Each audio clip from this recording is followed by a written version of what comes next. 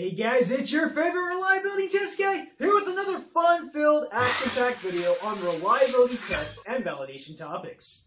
This current video is on testing. I hope you enjoy this video, and if you do, don't forget to hit that like button and subscribe to my channel. Thanks for watching, and let's get started. In this video, we will cover an introduction to testing. What is testing and what types of testing exist? I'm just kidding. I don't need a PowerPoint for this video. Let's go ahead and cut to the chase here. What is testing?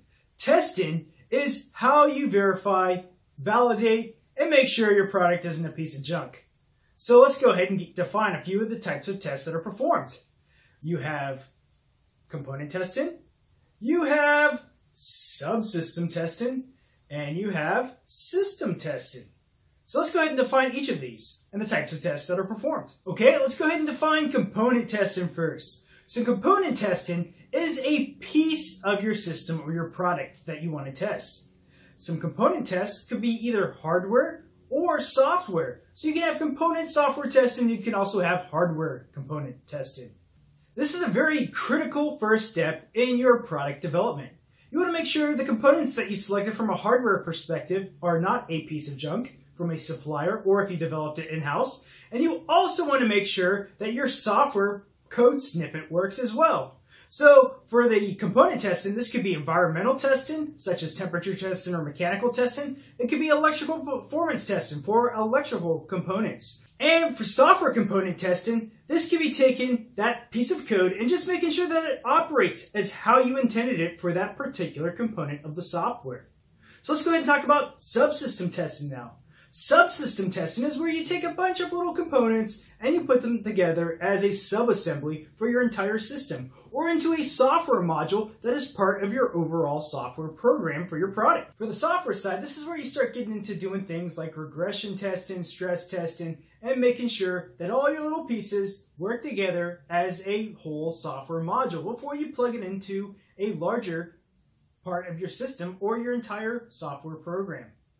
This is important to start at component and then subsystem with software and components to make sure that little guy, that little piece of your entire system actually works before you plug it into a bigger part and then it becomes more difficult to troubleshoot which line of code or which component is causing an issue with your entire system. For the hardware testing portion, again, this could be environmental testing, this could be electrical integration testing to make sure all your little pieces are working together as a subsystem or subassembly of your entire system. Okay, let's go ahead and get into system testing now. So system testing is where you take all those subsystems or subassemblies and you package them together as your final product or your intended final product design. Same thing with software. You'll take your software module and you'll plug it in a bunch of your small software modules into an entire software program that you will, will want to test to verify that it works as an entire software program. Okay, there we have it. We went through a quick definition of testing and the types of testing component, subsystem, and system level testing. A quick note before I let you go is for your reliability and confidence sample size determination.